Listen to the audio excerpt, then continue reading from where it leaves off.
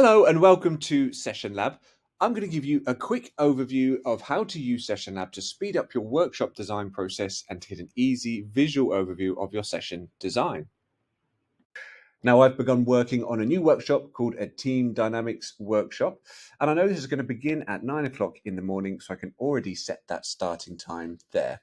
Now, each of the blocks in my session represent one activity or one part of my agenda, and I can choose to show and hide certain specific columns along the top here, or I can resize the width of any column by clicking, dragging, and dropping there.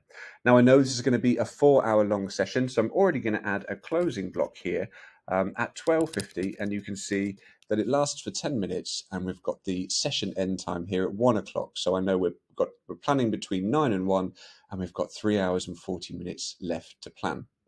Now, four hours might already be quite a lot without a break. So I'm going to add in a break block here. I'm going to set that duration for 15 minutes. Now for all the activities I create, I can use a custom color coding scheme. I just need to click here and choose the color that I would like.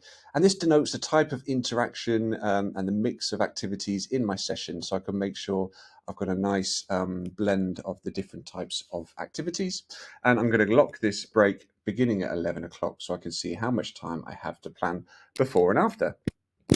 Now, next, I'd like to add an icebreaker after this introduction, and SessionLab is integrated with a large public library full of activities. And I'd like to search for and use the group map activity, one of my favorite icebreakers, where we're going to ask uh, the participants to line up according to certain criteria. And here it is. I can click to open it up to read a bit more detail, and I can just click, drag and drop and pop it into my agenda, and then close off this side panel here. Now, 20 minutes is good for this, and it already has a relevant category color here, but at any point, I can just click, drag and drop and move any blocks around within my session to reorder them. And if I do adjust the timing, then the timing would automatically up the, update here as well. Now, before we go into this icebreaker, which I'd like to move back up before the break, I'd like to have a short check-in round. So I'm going to create a new block there. I'm going to call it a check-in um, and I'm going to set just five minutes for this activity and maybe give it um, a bit of an introduction category color there. Now, every activity that you create in SessionLab is reusable. And I can show you this if I search instead for teamwork, but instead of the method library, I'm going to search in blocks in, for set for blocks in sessions that I've previously created, because I know there's a nice teamwork group here that's got a great debrief at the end of it. And I'd like to use that in this session. So again, I can just click, drag, drop, and put that into my agenda wherever I would like to. Now, at any point in your session design process, you can invite collaborators to come along and work with you. So I clicked on the share button there.